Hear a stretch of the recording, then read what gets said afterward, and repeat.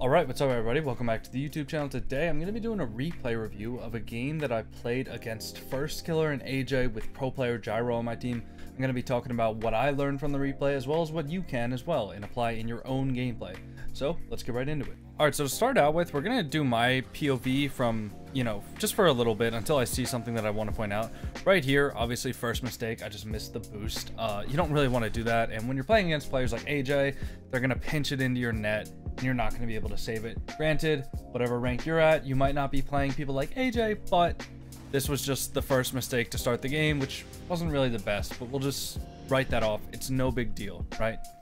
So starting off, I want to take a note of the kickoff real quick. So look at how players are cheating for the ball. See, Firstkiller's there, gyro's there. Now, how close you cheat, I mean, Firstkiller is a little bit closer than Gyro, but they're both at pretty much the exact same spot. It kind of like, see, Firstkiller cheated a little bit too close here, uh, and then, you know, he has to actually retreat because the ball got popped over him. Now, if you trust that your teammate is going to kill the ball and the ball is going to end up like right here after a 50, then yeah, having this closer cheat would be good. But luckily for us, because I won the kickoff, ball went over Firstkiller, Gyro is able to, uh, he's able to get a possession on this, okay? Now he tries to shoot it on, can't quite get it. Firstkiller jumps because in this situation too, I want to note why Firstkiller jumps.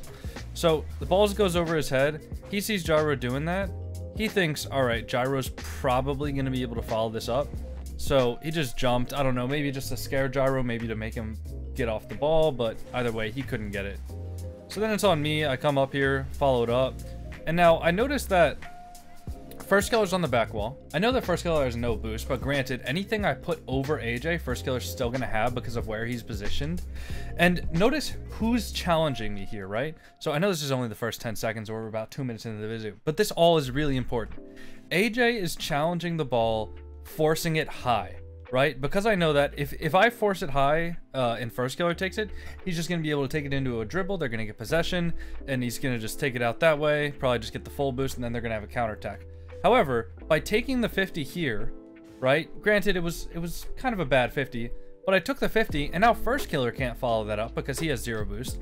AJ can't follow that up because he's in midair, give, which gives Gyro a free shot. Gyro goes for the flip reset. Firstkiller gets the clear. You know, that works. Right here, too, I, I'm not sure why this really worked, but I think Firstkiller expected AJ to get a little bit of better of a 50, but because AJ hit the ball into me and I popped it up, um, I was able to just, you know, Firstkiller was already upfield. I was able to just get a free shot on net. All right. Again, with the kickoffs, I like to really soft cheat. Um, you notice AJ is just a little bit closer than I am, but I'm a big fan of soft cheating. Uh, and in situations like this, it allows me to react a little bit better. Uh, I think if AJ had a little bit faster of a reaction time, he probably could have beaten me to the ball, but because he didn't, you know, notice I take a controlled first touch and not just banging the ball away to their corner or something. Take controlled first touch, get it up the wall, go for an air dribble play. Again, once you notice the player challenging you here, so as soon as I see him dive off the wall here, I already know that I'm not going to be able to get the ball over him. Uh, and even if I were to get the ball over him, AJ is on the back wall, so it's not really going to matter. So I'm just trying to position myself to take a good 50 there. And Gyro's able to beat AJ because AJ was on the back wall, so that's a good jump from him. Also, you know, why not make a note of Gyro's positioning here as well? He's positioning for anywhere where this 50 goes. He's a little bit trying to predict it by turning his car to the left there. Uh, he was predicting it going the other way, but when it 50'd out here, he was still able to react to it on time. No matter what happens there, Gyro's going to be able to react to it, and he's going to be able to jump. So that was really good positioning. Alright, just try to get back here, you know get some full boost. And notice how I'm holding on to my boost during this replay. This is something that I think Firstkiller does really well as far as uh, boost conservation and management. And this is actually why I get scored on right here. So let's let's watch from his perspective for a second. He has zero boost, goes for the flick, can't quite get it, grabs a pad, grabs another pad, and gets that full boost, right? Watch, he has 97 boost. All right, a lot of people would, you know, use some boost here and there. He doesn't use boost until he's challenging the ball, which allows him to have enough boost to go up here, get a flip reset over me. Goes for the double, but he couldn't quite get it. He didn't have that much boost. And then AJ's just able to get a goal. And from my perspective, I mean, the only thing I could have done here was uh, challenge the ball differently. So either right here, I should wait on the goal line or go like on the backboard um, and wait for the flip reset. But if I do that, he's most likely just gonna fake the ball and just let AJ uh, come take it because AJ is really close as well. So it's kind of just a, an unwinnable situation, especially when you're up against players like Firstkiller and AJ. Uh, but you know, it happens. It, it is what it is. Firstkiller just made a really nice play to continue that 50 up with full boost. Right here, you're kind of just in Operation uh, Recover. Right here, I, I could have... Um, I would say I knew Firstkiller was in the back corner because if you if you look right here, you can see Firstkiller's car turn there, and then if you listen, you can hear him flip behind us. So I knew that Firstkiller was in the corner, which meant right here, I knew he wasn't going to be taking a shot or anything like that. So I was trying to flick it across, however I got a really weak touch, and somehow I just dove in and, and saved the ball. Um, not really sure how that worked out, but it did, so I'm not going to complain about it. And then Gyro, I want to point out this as well. You know, this is another really nice play. Keep in mind, these are all top-tier professional players, um, which is why these plays are being made. But, you know, I get the save, ball pops up. Gyro doesn't panic. He waits for his time to, you know, get on the ball and then makes the aerial, flip reset, bumps Firstkiller. I'm able to get the follow-up shot. So, very nice play from Gyro there. Good bit of control. Now, I want to watch Firstkiller for a little bit um, because I want to show you guys truly, like, this dude is, is genuinely one of the best players when it comes to boost management. Look, he's not using any boost at all until it actually comes time to get the ball. He was on 100 boost for probably 10, 15 seconds there without even use, needing to use any boost at all. Um, and, and just, just look at like how he's positioning. And, and once he gets momentum, he tends to not really lose it. He knows. So right there too, he a lot of players will be tempted to go for that back boost but Firstkiller sees that Gyro's also heading in that direction, and he knows that Gyro can beat him to that no matter what. So it's really smart of him to just go for the ball rather than going for the boost. But the pinch doesn't get a lot of power, so I'm able to get a touch on it. Uh, my mistake here, I see AJ going up well before I even hit the ball. So I could have done a lot of things here. I could have backflipped, and then AJ would have just been floating like a, like a dummy. Or I could have banged the ball on goal, which also probably would have resulted in a goal if I had thought fast enough. However, I was so hyper-focused on the ball that I popped it up and AJ just gets a dunk, and Gyro doesn't have enough boost to get back to it in time. So I just kind of gave them that goal for free. It was a little bit unfortunate. Again, another kickoff. I want to emphasize to you guys, I think every single kickoff this game, people have cheated. Um, this is something that will help you, and yes, it might suck to learn at first because you might get scored on a lot of times if you're not cheating properly, but this is something that will help you 100% of the time. Hmm. Like, it, it, I won't say it'll help you 100% of the time, but cheating will get you goals more often than it gets you scored on, I would say. Alright. Gyro gets the flip reset here, and notice how I'm holding onto my boost as well. You know, that's something I, I pointed out that Firstkiller does extremely well, but I also make an attempt to, to do it well. Uh, I tried to go for the demo there on Firstkiller, but he just kind of knew, uh, so he just stayed supersonic. And just made sure AJ couldn't get a shot. Nice. So, right there, the reason I didn't hit it out was because I know that if uh, if I hit it out there, unless I hit it to the left, uh, if I hit it to the left, basically I'm gonna get them, right? Um, if I hit it like over here, I'm gonna be flipping to the left, and Firstkiller's gonna demo me. If I hit it straight, I see AJ right there. So unless I get a boomer clear or a shot on net, AJ's to have possession. Even if I do get a shot on net, AJ's most likely to get possession. So I figured my best chance was to see if Firstkiller would mess up and maybe hit it directly to the sidewall, and then I would be able to follow up on it. But as is, uh, Firstkiller hit it that way, and kind of messed up his recovery a little bit, so I was able to just grab his boost. Uh, grabbing his boost there is important because if he gets that mid boost, he's able to turn right behind AJ, and they would have two attackers on this play, whereas with AJ and Firstkiller all the way back, AJ is forced to give up the ball after he gets this touch here.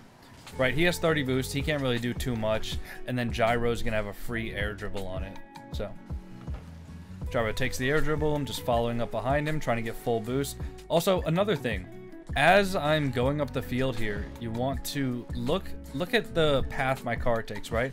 Get one boost pad, boost up, get another boost pad, drive over this boost pad, even though there wasn't boost there, drive over this boost pad, drive over that boost pad. So all of the time, I'm trying to get more and more boost. Okay, if you get more boost, you're going to be able to be more impactful. You're going to be faster, obviously.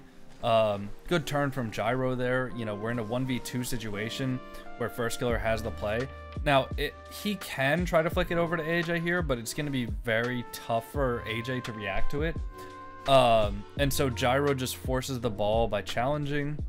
Uh, and then because Gyro knows that I'm full boost and he has none, even if the ball gets over him there, I'm behind him and I have full boost. So as long as he forces the ball to be out of Firstkiller's possession, it'll never result in a goal. Anyways, I hit the ball high, and Gyro's able to... This is another thing that pros do really, really well. So Gyro forces the ball, right? Rather than going all the way back with zero boost, he stays on the play, and he's able to score a goal because of it. You know, you can do a lot more work by staying in the play with zero boost than you can by going back most of the time. And now right there too, I want to notice, this is the first time that somebody didn't cheat up on the kickoff. And because of that, I knew that AJ was going to be trying to lose it back to Firstkiller. So whenever this happens, I always try to counter it by approaching the ball and trying to hit it like pushing it this way. Because if AJ comes along and side flips the ball, he's going to be contacting it about right here on the ball. So if I hit it right here, the ball stalls. And because Firstkiller's back, typically uh, the guy who's cheating on orange team will be able to win. So Gyro is actually able to follow this up, but Firstkiller has a really, really quick reaction to it. Um, because he didn't go all the way back to the corner boost. He just soft cheated, basically, towards the back diagonal. Hit it to the side there. I Figured Gyro would be able to go, but I think Gyro is going back for boost. And then right here, you know, just that's a little bit of game sense right there, knowing that Firstkiller is going to be going for the demo because he can't get the ball past me. Um, because AJ wasn't ready for the shot. Um, so I knew that Firstkiller was going to be going for the demo. Uh, and, and because of that, I just hit the brakes a little bit, made him uh, miss me. Right here, probably didn't need to jump there because Firstkiller was all the way, all the way back there. Um, so I didn't need to jump at all. The only reason I would have was if AJ was going for it, but he clearly wasn't. So that's a little bit of a mistake by me there. Either way, I get flip reset just, I don't know, to see if I can maybe get an extra touch on it, but I wasn't actually able to. And then right here, this is another mistake for me. I went too far in net. In this situation, Gyro's already covering the net, so I don't need to get back post here, especially because the only angle Firstkiller can shoot the ball at net from, Gyro's covering entirely. So I need to be watching the pass here, and I shouldn't go that far in the net. But Firstkiller recognizes that, um, that he has to pass it, but luckily Gyro gets a good pre-jump, and he's able to clear it out. Good save from me, and recovered off the top of the goal. And then open net chance here. I can't remember if we scored this or not. No, Firstkiller had an insane save. Look at the recovery from Firstkiller. Gets bumped here, zero boost. He uses his camera to see where I am, and he just double jumps it out. That's so clean. That's so clean. So now here, I'm just trying to get back, but as soon as I see Gyro has possession, I turn on the play. That should have been a goal. That was just really bad shot, if we're being honest. Um, but it was a good pass from Gyro. I just didn't score it. Alright. Firstkiller gets the flip reset. Easy save for Gyro. I mean, there's not really too much to worry there because, like I said, I'm forcing for Gyro. So, by me jumping here, I'm jumping on the path of the ball. Uh, so if you if you look, let me let me see if I can put this in a fly view. Okay, so the ball is traveling down now, right? It's going down like here, right? So my only goal here is to go where the ball is about to be if Firstkiller doesn't touch it.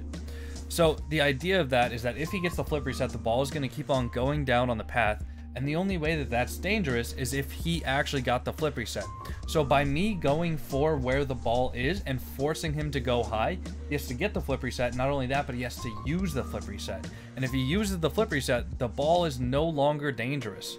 Right, the ball is going towards our net, sure, but Gyro's positioned right here. He can drive to wherever the ball is going, and he ends up just driving to it and uh, getting a touch out, so it's no big deal anymore. And Firstkiller takes the ball back instead of just giving it away.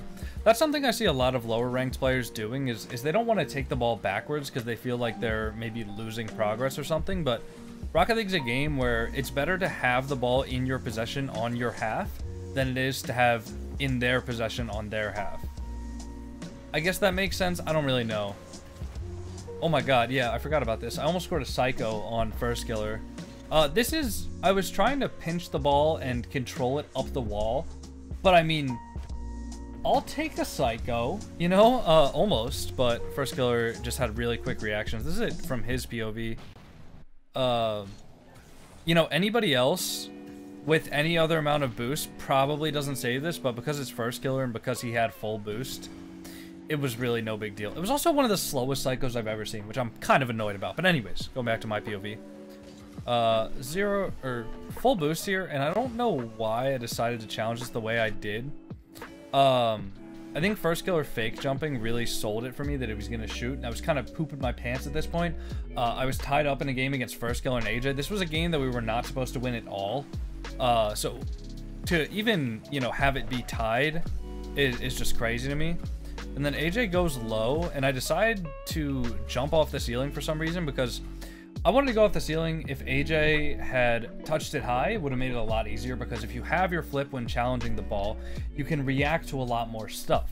So by going off of the ceiling, you keep your flip rather than just jumping off the ground. Uh, and you also have height and you're moving down, so it's it's just a little bit easier to actually challenge the ball. So, you know, I jumped off the ceiling here, and I think Gyro didn't think I could reach this, uh, which is fair because I was off the ceiling. Uh, and Gyro would have had a touch there as well, so it wouldn't have really mattered either way. But now that I did touch the ball, I have to kind of follow it up and make sure that they can't do anything. So grab the corner boost. Firstkiller gets a touch up the wall, which goes a little bit away from him, and I'm able to just follow it up. And now AJ goes up for it. I'm just kind of chilling here. Took a powerful shot on net, but Firstkiller was there. I think it was probably crossbar, but either way, it's mostly just for pressure. Good bump attempt from Gyro. I noticed that AJ's hitting the ball a little bit too far away from himself, so I just sneak in, and I don't think Firstkiller saw me. So AJ hits the ball around, Firstkiller thinks, okay, it's in his possession, and then I just sniped it. Yeah, Firstkiller, he didn't see me until the very end there, so that was very good from me to have the awareness that AJ was giving it away, but also kind of unfortunate for Firstkiller that, you know, my car didn't show up on his on his screen. Now here, uh, with 10 seconds left, I was trying to just uh, control the ball. And I figured that AJ was going to be pre-jumping me. Um, so either in this situation, when I see him pre-jumping, I, I can literally, from right here, I can just backflip and I'll land on the back wall and it'll be a free possession play. But I tried to recover it and uh, because I tried to recover it, AJ was able to get a 1v1 play. I mean, this was kind of just disgusting. I'm not going to lie pre-jumps my touch, goes extremely fast, gets the double, and gets the bump. So Firstkiller is able to score it. Kind of unlucky, but, you know. Uh, it was a bad play from me to give away possession of the ball. I could have also, like, just one more alternative real quick. I don't want to harp on this, but I could have literally right here, ball goes up my wall. I could have seen this. I could have seen that he was up the wall here. Granted, it's a little bit hard, so maybe if I had set my nameplate scales up a bit, uh, I'd be able to see him a little bit better. But, uh, you know, right here, if I see him up the wall, I can literally just turn around. So before I ever hit this ball, I can go right here, and instead of jumping off the wall for this, I can just turn around, go down the wall, and just shadow the ball and play the 50. You know, it's it's something that might be a little bit uncomfortable for first-time people, especially if you don't know how to control your car on the wall, but that would have been a better alternative than what happened, you know. Next kickoff, I think we just stall the ball here. Yeah, Firstkiller goes for that. Gyro's up. Oh yeah, go for a double tap, uh, but Firstkiller's there. He gets the insane touch, and then they're not able to score, so we go into overtime. And again, I think with every single kickoff that's happened, there's been a cheat in some way, shape, or form. Even right there, you'll notice uh, Firstkiller cheated to the side a little bit, um, but I'm pretty sure he communicated it because AJ also tried to lose it to that side. So rather than hitting the kickoff straight on, AJ, um, see, he hit it with the side of his car to push it that way, uh, which is another kickoff strat that high level players will employ. Either way, I knew that right here, the reason I went for the full boost is because I knew that, you know, it wasn't super threatening. The ball went out so fast to the side that I knew that Firstkiller wasn't going to be able to get a direct touch on it. So I knew I had a little bit of time at least to get some boost. And then Firstkiller messed up his touch here. It was it was very difficult. I think he tried to pinch it. Uh, yeah, he went for the he went for the pinch, but he ended up messing up his touch. I noticed that AJ was left alone, and a lot of people would probably jump here, but um, I find that it works better to just go straight for their car. And if you miss them, slow down and try to just bump them. Because it's not really going to matter um, if they're dead or not, if they're bumped and they can't get back to the ball. But anyways, that's how I beat Firstkiller and AJ. Some key takeaways from this, if you want them, is manage your boost extremely well. So try to stay on 100 after getting a big boost for as long as possible. Pick up a lot more pads. Um, follow the play in a way, especially for twos, follow the play in a way where if the 50 goes bad, you can still turn around or half flip and you'll be okay. But you also want to be close enough to the ball that if your teammate gets a good 50, you'll be able to follow it up right away. Don't give away the ball too easily. Um, obviously, if you're in front of your net and somebody's challenging, you're going to probably want to bang the ball away. Or, I mean, if you're very confident in your 50s, you can take a 50.